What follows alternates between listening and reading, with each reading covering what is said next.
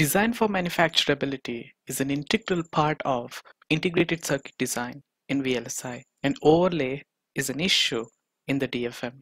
So in this video we will try to understand what is overlay in integrated circuit. Overlay refers to the registration of a mask pattern with the pattern structure of underlying layer present on the wafer.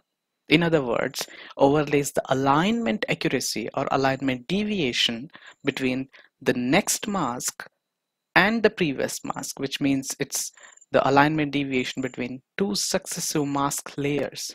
We know that the IC manufacturing process consists of several steps and each step layer requires a mask.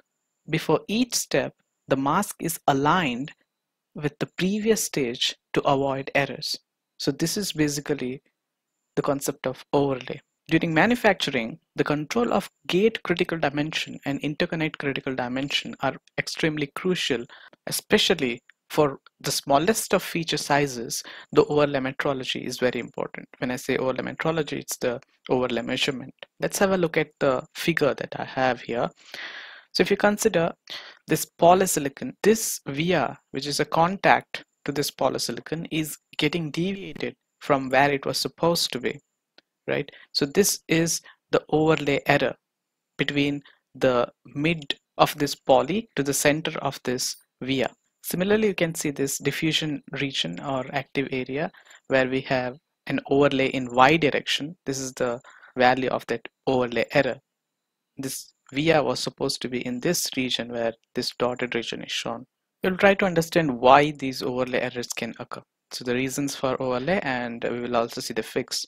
One of the reason is the mask imperfection. So if the mask is not properly produced, then it could lead to the overlay errors. Also the wafer handling during manufacturing, if wafer is not handled properly, that also can lead to the overlay imperfections. Also the alignment variation and tilting during manufacturing. This could also lead to the overlay errors. There are multiple other reasons which I didn't um, mention here, but there are several other reasons as well.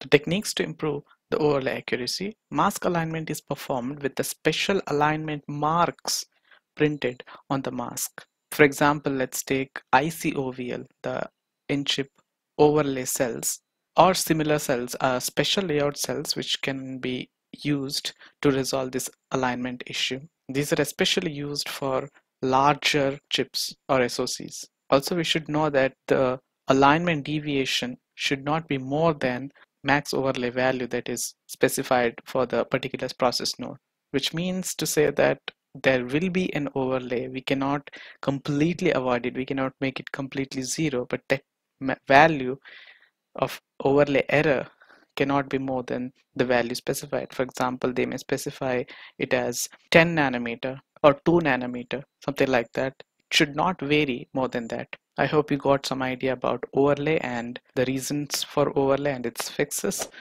Thanks a lot for watching. I'll see you in the next video and please do subscribe to my channel and bye bye.